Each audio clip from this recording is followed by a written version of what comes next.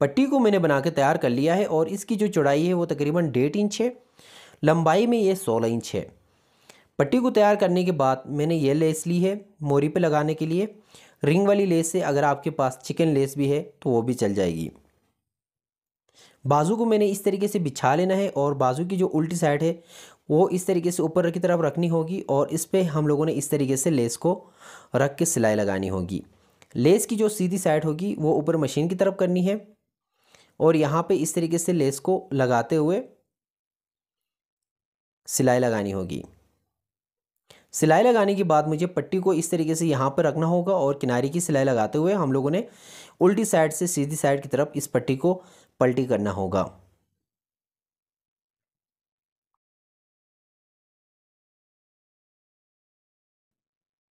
पट्टी पे मैंने सिलाई लगाने के बाद उल्टी साइड से सीधी साइड की तरफ़ इस तरीके से पलटी करके मुझे सिलाई लगानी होगी किनारे की। किनारे की सिलाई लगाने के बाद पट्टी और लेस इस तरीके से मैंने लगा कर तैयार कर लिया है।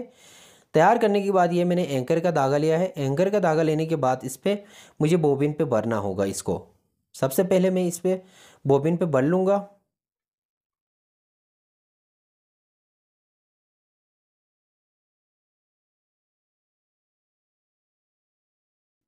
बोबिन पे मैंने इस तरीके से धागे को भर लिया है। भरने के बाद मुझे डब्बी के अंदर फिट करना होगा और यहाँ से मुझे इस नेट को थोड़ा सा लूज़ करना होगा। ये देखिएगा इस तरीके से। लूज़ करने के बाद मशीन के अंदर फिट कर लिया मैंने। और ऊपर जो इसका धागा होगा, वो नॉर्मली धागा होगा। ठीक है, इस तरीके से कपड़े को पकड़ना है। पट्टी से तकरीबन आधा इंच का गेप छोड़ते हुए मुझे सिलाई लगानी होगी पेंटेक्स की, ठीक है? इसी तरीके से मुझे पेंटेक्स डालने होंगे और जो पेंटेक्स होंगे वो तकरीबन पाँच से छः मुझे पेंटेक्स डालने होंगे। आप चाहें तो कम या ज़्यादा कर सकते हो इन पेंटेक्स को। अपने बाजू का जो कपड़ा होगा जो आपके पास मार्जिन होगा कपड़े का, वो आप अपने हिसाब से कर सकते हैं, ठीक है? इस तरीके से मुझे पाँच से छः पेंटेक्स डालने होंगे। तकरीबन आधा इंच का गेप छोड़ते हुए मुझे पेंटेक्स डालनी होगी। तो चलें जी, जल्दी से मैं पेंटेक्स डाल के फिर मैं आपको दिखाता हूँ।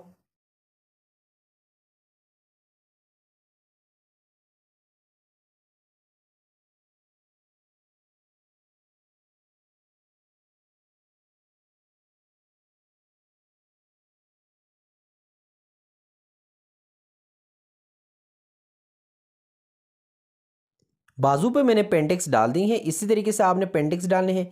पेंटेक्स डालने के बाद यहाँ से तकरीबन मुझे एक इंच का गैप छोड़ते हुए मुझे निशान लगाना होगा। यहाँ से एक इंच का गैप छोड़ के मुझे निशान लगाना होगा और उस निशान के ऊपर ही मुझे ये जो रिंग वाली लेस है, उस लेस को इस तरीके से ऊपर रखना होगा। ये वाली लेस इस तरीके से बिल्कुल निशान के ऊपर रखने के बाद निशान के ऊपर ही मुझे सिलाई लगानी होगी यहाँ से इस तरीके से। ये देखें, इस तरीके से मुझे यहाँ पे सिलाई लगानी होगी।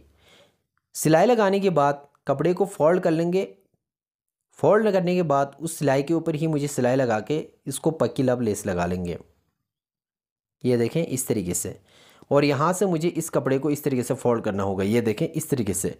फोल्ड करने के बाद यहाँ से मुझे पकड़ने के बाद यहाँ से ये जो सिलाई नज़र आ रही है, बिल्कुल सिलाई के ऊपर ही सिलाई लगा लेंगे। ये देखें यहाँ पे इस तरीके से। सिलाई लगाने के बाद फिर मुझे किनारे की सिलाई लगानी होगी।